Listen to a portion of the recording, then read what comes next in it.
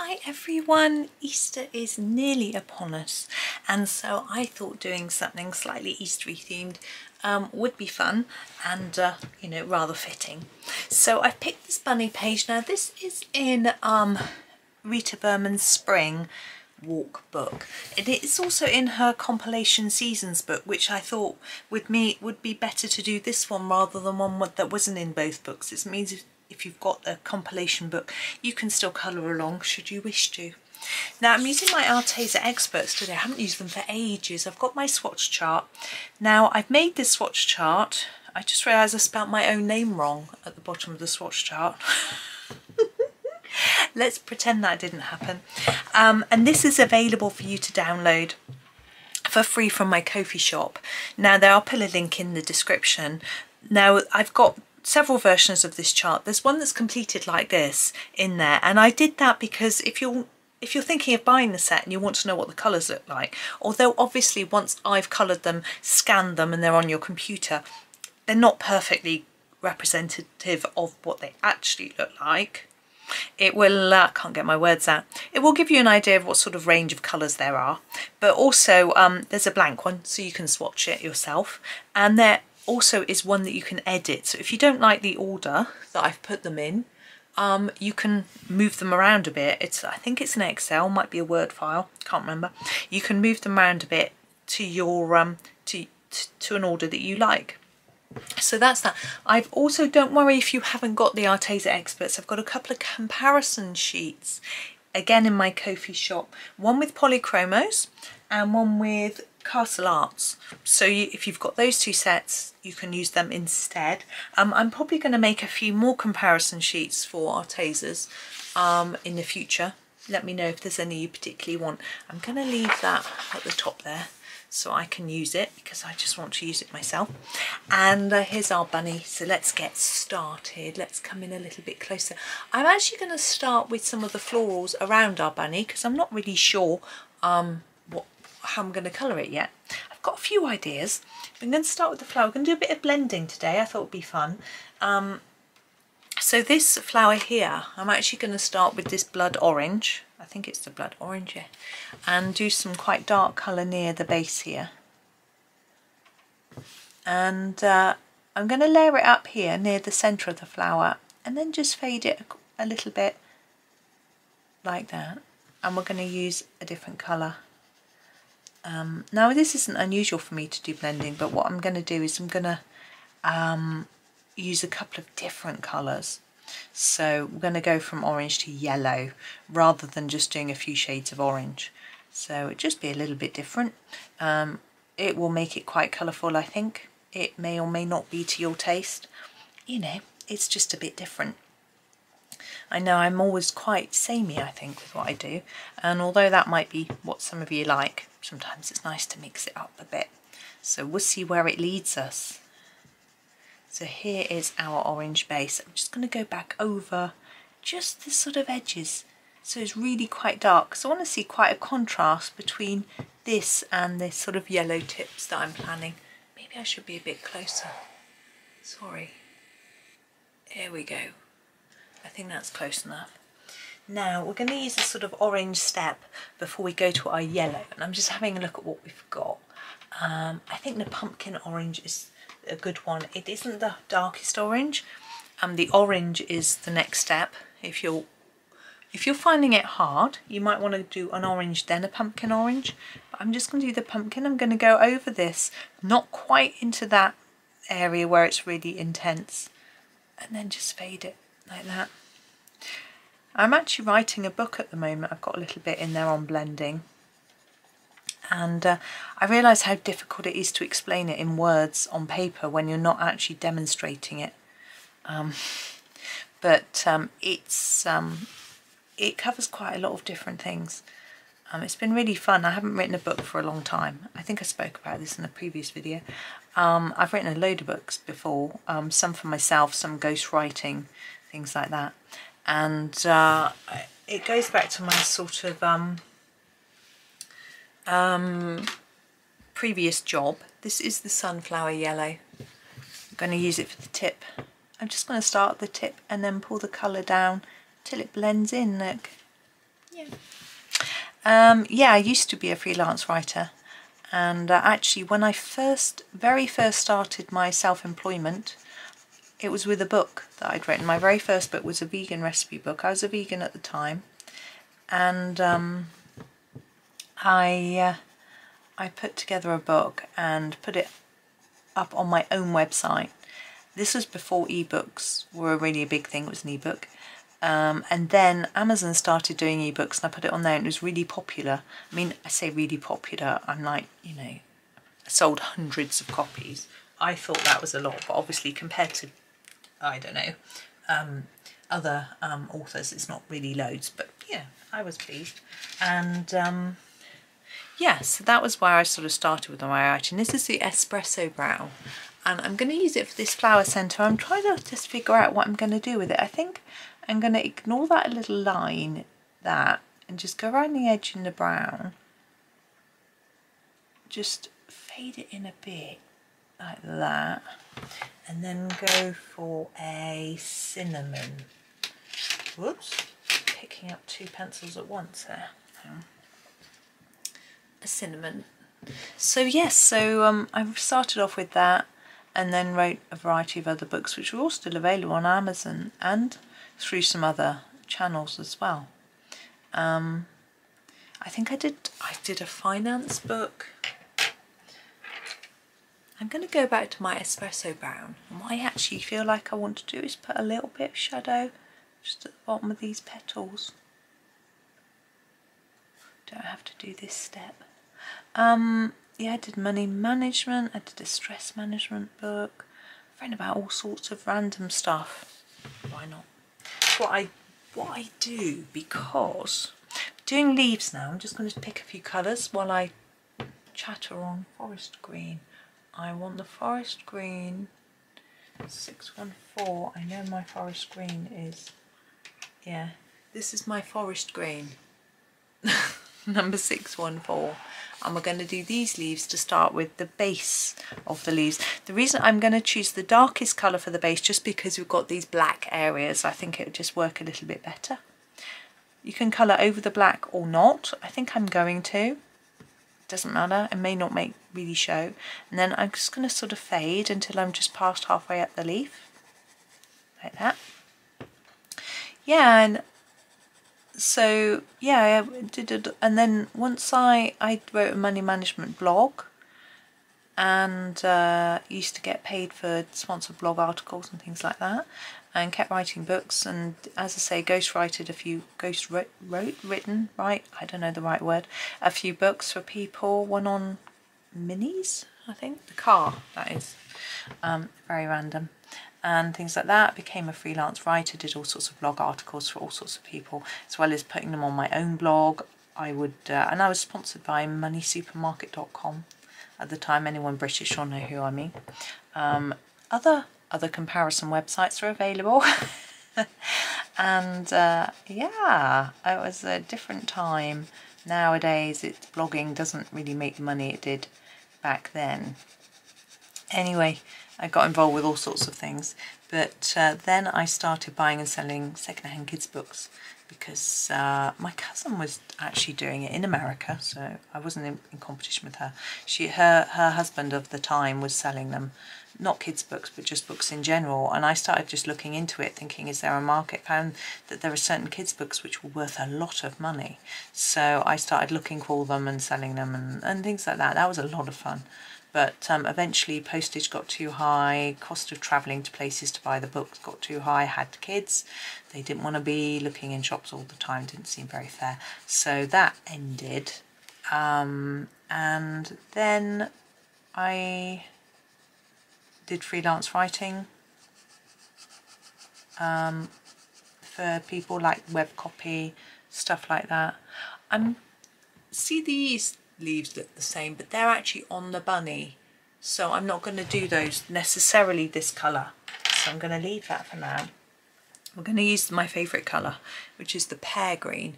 It's such my favourite that I've actually bought a replacement because mine was so small. Now, to blend these two, I'm going to put down a few layers here and then reduce my layers as I blend across here and hopefully they just sort of end up smushed together. Um, yeah, so then I, I, I got into adult colouring and uh, I just started making videos. Well, the history of the videos you've probably heard many times before. For those of you who are new, I just um, picked up a, no, I did a, I had a, oh, it was a Virgin Experience um, voucher okay? Um, it's too difficult to explain. Basically it's a company that you buy experiences from like skydiving and things like that. And it was in um, lockdown so we couldn't do so they suddenly started putting art experiences and things like that on there. So there was one that said it was a colouring course and I was like oh that'll be good. So I did this colouring course and it was awful. Um, basically it it was say there were 10 sections to it and the first seven were how to draw and I was like well I don't want to learn to draw. And then um, I'm going to do these berries in a purple. I think purple and orange always works really well together a very deep purple. I'm going to use the amethyst purple. I think that whoops a sort of violet purple is I think is the best. Some people the purples are more pink like a plummy purple. This is the amethyst purple. And they're really small so I'm just gonna um, fill them right in Okay. Now, uh, and I want them quite intense, so I'm going to layer it up a little bit. Um, yeah, so it was, and then the colouring was with watercolour pencils. And so I was like, well, they said it was pencil, coloured pencil colouring. And I felt like I'd been slightly conned. in although the vouchers were free because they were well they were a corporate gift from my husband which I spent obviously. anyway, um, no, he was happy for me to have a go. But it, he would even more delighted now if he realised, which I don't know if he does, that that's what led me to starting to make my own videos because I was like, I can do better than that. Also, the camera angle, the camera was like over the person's shoulders and very far away. You could barely see what she was doing. And I was, didn't like that.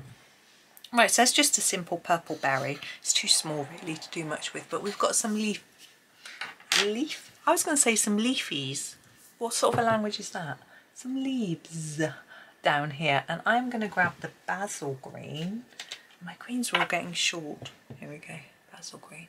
Um, I did forget to mention, I'm going to do the tips in this basil green, very similar to how I did these leaves, but um, so more layers at the tip and then less towards the middle. Yeah, that I have got the 72 set of Arteza Experts, so um, all my comparison charts and things are just for the 72. If you've got a larger set, then, because I think there's a 120 as well. I think there's just a two set. So um, if you've got the um, um, if you've got the 120 set, then obviously you can use the comparison charts. Hold on, I've got a bit of dust but they won't have all of the pencils on there.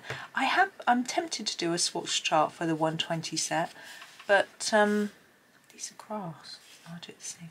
Um, but I wouldn't be able to fill it in because I don't have them, if you know what I mean. I could only like write, write them down. Um, I don't know how useful that will be, really. Also, colour order. How would I decide? Like with these, I have a feeling I produced two charts, one in the order that's on the inside of the lid and one in the order that I like because the inside of the lid order had some weirdities going on.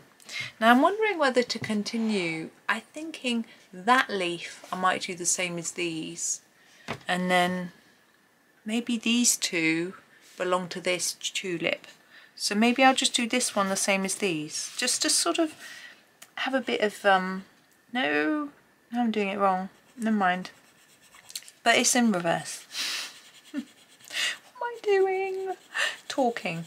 That's what I'm doing. So I would advise you to colour that end dark and keep this end light. But do as I do, not as I do as I say, not as I do. That's what my mum used to say. Right, spring green is what I'm going to use for the other end. Yeah, there we go. Another sharpen. The greens are getting short. But as I say, I bought a set of the pear greens. Now you can buy them open stock on, um, I got them from Amazon. Um, then well I got my open stock ones only in packs of three so I had to buy three of the pear green but that was okay because it's a really nice colour and I can see me using it even if all the others run out. Um, I just really like yellowy olivey greens. Yeah, it's just me. I've got a little flaw in the paper there and it's showing white. I'm just going to colour it in the wrong direction. There we go, it's better. Let's just try and cover that up. So what is everyone doing for Easter? Um, do you do anything? We don't really. Um, I usually give my boys something, but um, it's often just some money. When they were little, really small, I used to just put money into their trust fund because um, they they used to get sorry shadowing what I'm doing.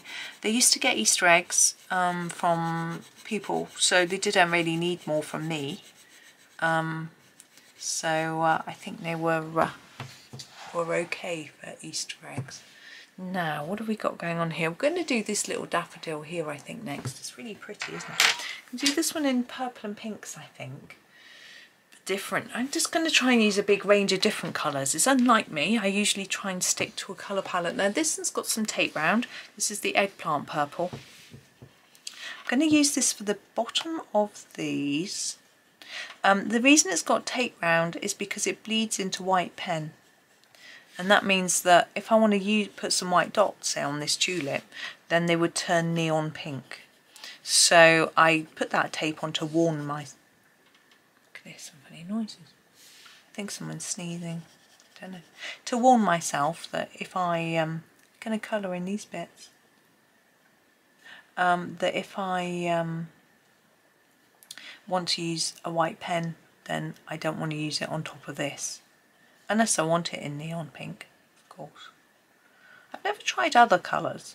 You know, if if I know it bleeds, I wonder if I put yellow on it, what would happen? Would that go neon pink? Idea. Be a fun experiment. There we go. Now we want a sort of, I want a sort of lilac-y, what have we got? Lavender, that's what I want. Where's my lavender? There. Use this lavender. I'm going to come down from the top here and just fade into the pink. There. Pink and purple are quite good friends, aren't they? It fades in quite nicely. It's unusual for me to do this, as I said earlier. I usually just keep, would do similar colours. But um, I thought it would be nice to do something a little bit different. Now I'm going to do a third colour. I'm just going to fade this up a bit. It's quite tricky with all that other colour in there. Make sure I make it quite dark down here. I'm going to do a dark tip. What have we got? Uh, we've got an ultramarine. What's that? Yeah, I'm going to use this ultramarine blue. It's a colour that I don't really like, to be honest. Oh, it's got a bit, a bit on the end. Now you notice I haven't done any sharpening today because I actually sharpened all of these before I uh, before I came on because they were all really blunt. I've been making some swatch charts with them course, don't really need to be that sharp for a swatch chart. And uh, they were all, every single one was blunt. So uh, I sharpened them all. You could darken this a bit more, but I think it's quite nice not being too dark because the other colours aren't really that dark. Okay, let's think about these leaves.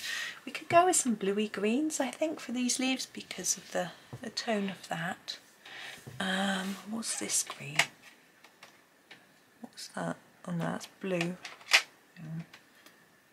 A shamrock green. So I'm using my um, swatch chart to help me. It's quite bluey. I think I don't want quite that blue. I'm going to go for the emerald green. I think this is it. 613. Yeah. You see why I'm confused when I show you. and use this basil tip tip. So layering up here and then just fading it. You can use this technique where you just push hard and then draw your pencil away from the paper. and it does a fadey line. It's um, I think you can do it with pen as well, which is quite useful because pen is quite difficult to sort of shade. Um, I want a mint green. Is there a mint green in this set? Yeah.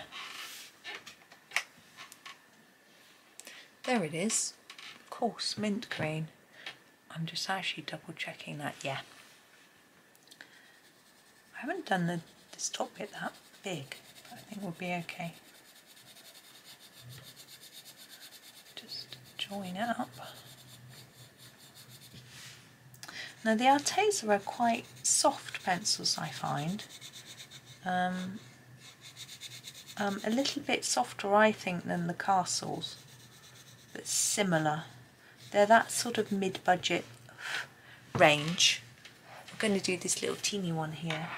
Um, so more affordable than some brands. Um, obviously that does depend on your budget. Um, this is rose red and I'm tempted to just block that in but I don't think I will. I think I'll go around the centre in this and fade it off. Um, like that, just sort of fade it up each halfway up each petal. Um, yeah, I think they're more of a budget range than some pencils, obviously. Going to go darker, I think. We'll go, we might use the garnet red on the outside.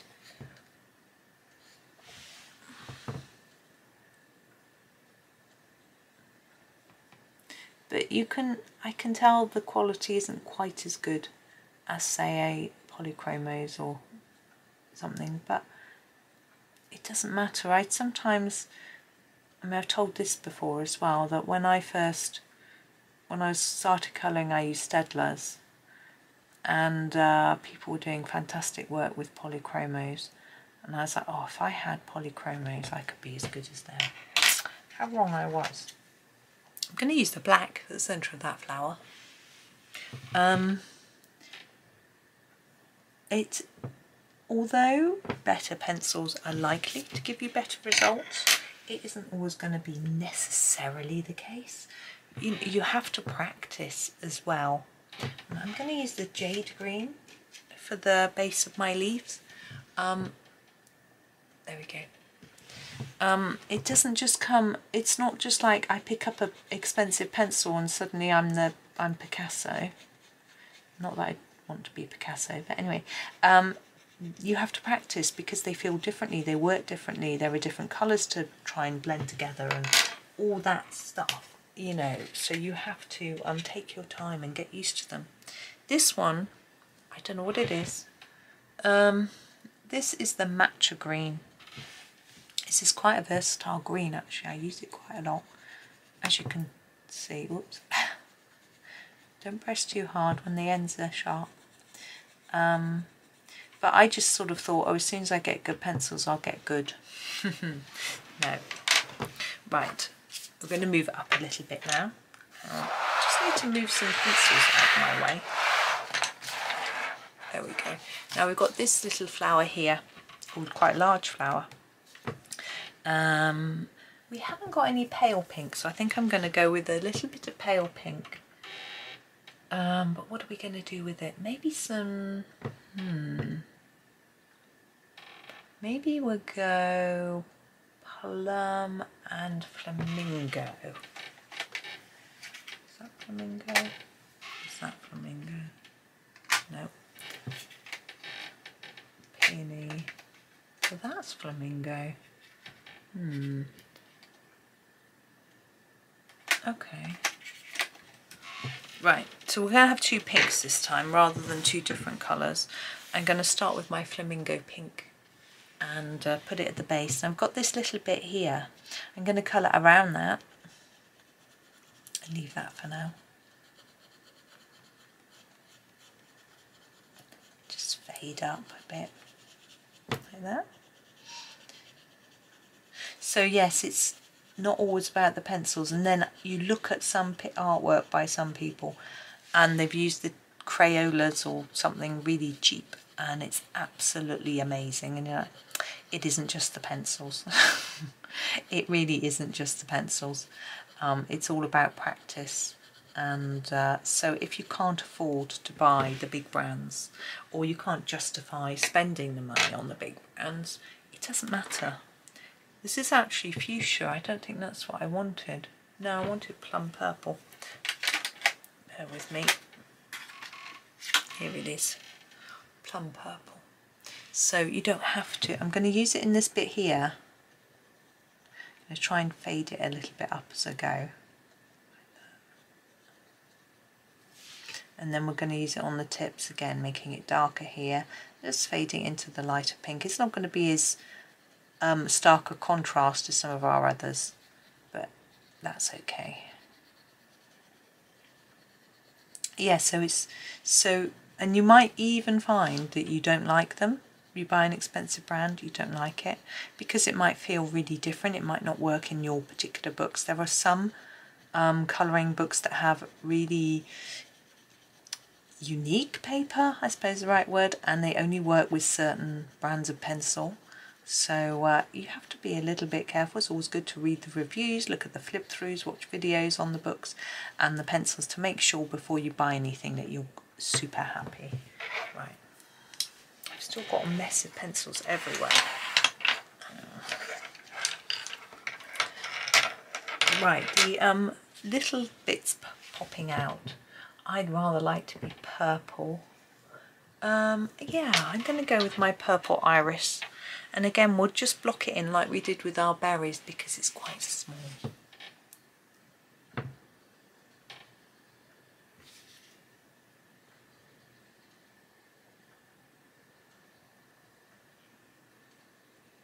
There we go. Now we have a um, foliage on this one. I want to keep it quite light I think. Um, I'm definitely going to use this quite pale green. This is the lime green. It's really, really pale. And we'll use another lightish green. What have we got here? We've used a lot of our pencils already. Yeah, this is the absinthe green. I think it might work well with it. I've got the absinthe green still in my hand, by the way. I'm going to use that one first. Um, where should we go? I think we'll go dark at the bottom this time and just fade. It's got, you can see it's quite delicate. It's a rather pretty colour, I think. I don't know if absinthe is this colour. I've seen it once, absinthe, someone taking some absinthe in a, um, a pub I went to that used to have it. This is lime green, but uh, it was very weird sort of, I think it was, they sort of set fire to it or something. It's very strange. But anyway. And of course I remember watching the film Moulin Rouge and there was the absinthe fairy, I think, because of the hallucinations we were getting. There we go. Strange film. Right, let's have a look at what we've done so far. Let's come back out and look at the whole page. So we have done the flowers. We haven't done any of Bunny yet. Now, we, I am going to do Bunny Blue. I haven't done very much blue, just a little bit here, so I think that will work quite well. Um, and I think that might be my next job, but maybe in the next video. About half an hour, haven't we? Maybe we'll do a little bit of blue. Let's do a little bit. Now I am going to use whoops my the robin egg blue because I really like it.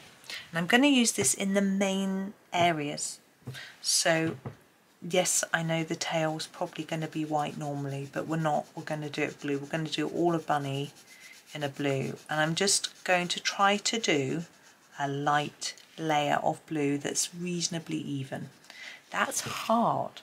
So holding your pencil nearer the end and slightly on the side um, um, is makes it easier to do a slightly more even layer, even though it's a bit harder to stay in the lines.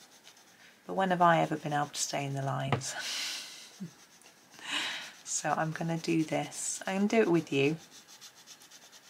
I mean, you may not be quite as fast as me. I know I'm really quick but it's just the way I am.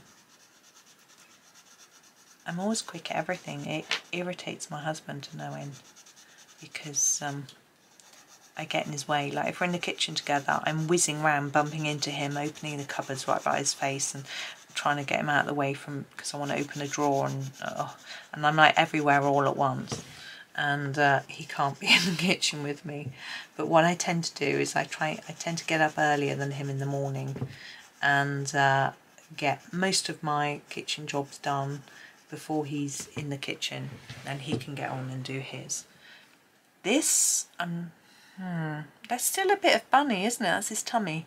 So we will still go around there. Um and um, so I'm doing all of that but but I, I try and leave the job like I empty the dishwasher which is you're all over the kitchen because you're putting things away in different places.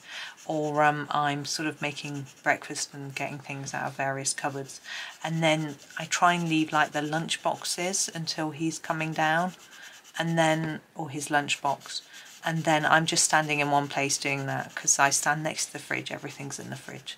And uh, then it's a bit more calm so he can um, just concentrate on his own thing and get to what he needs to get to. But uh, I often have the children in the kitchen with me and they are okay. They don't get impacted by me buzzing around um, they uh, they're used to it I guess. And they might be doing the same thing and we might be crashing into each other. And we just think it's funny. But uh, it's uh, it's all about personality and what you're used to I guess what you find funny. This is quite an interesting design isn't it? This really pretty sort of floral and things. We'll try and I'll try and come up with some different color combos I think for the for the um, center flowers which as I say we'll do next time. What I'll do is I'll just get this base colour of blue down and then I'll probably hmm, what's that I'll probably finish and then I'll um, in the next video I'll do some other blue bits and bobs possibly and all the flowers and things on the bunny too so um, I'll probably do the flowers first actually and then we can see um, what it looks like and where it might need some more colour because I don't want to distract from the pretty flowers. You know, like these bits I will do in different blues, I'm sure. Um, but will I put some shading in there? Will I make some, you know, I don't know. It will depend on how it sort of looks when we're done. So uh, it'll be interesting to see how it develops. In fact, my last version of this I did, which was in the um, Seasons book, um, I did the bunny in a sort of turquoisey colour and um, I rather liked it. But um, this isn't quite turquoise, it's more of just a blue, isn't it? But it does make me wonder about a background, whether I'm going to do something or not because, you know, it looks like it needs a blue sky but we've got a lot of blue going on. So we'll see. Now a blunter pencil can be more useful for larger areas, but obviously not so much for the smaller areas because you end up colouring over it all like I am. Um, so uh, it's a bit tricky, but we're just putting down a light layer. If you do go over some of these bits and you don't, you can erase them, but once you've got a heavier layer of a different colour on top, it won't be so noticeable anyway, I shouldn't imagine. So uh, I'm sure it'll all be fine.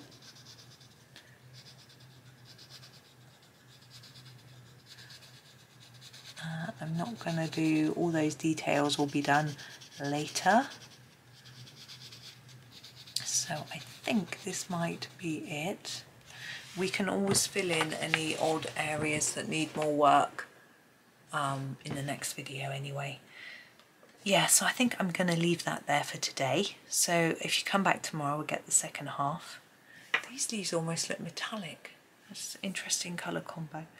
Anyway, and we're going to do some more colour combos and things like that. But as I said earlier, links to swatch charts, comparison charts, oh excuse me, in the um, video description. Or just hop over to my Ko-fi shop there are over 80 um, freebies in there for you to download so uh, all sorts of things that you can uh, you can have a go at have a look at play with you know download. They're all downloads um, they can be printed. You can just keep them on your computer they're PDFs and things like that so it's all good. Um, and it's all managed by Ko-fi so it's all okay. And uh, so that's that. Anyway um, so have a lovely, lovely day. Um, thank you for watching. Um, please do like, subscribe and comment if you can. I really appreciate it. Um, thank you and hopefully I'll see you tomorrow. Happy colouring!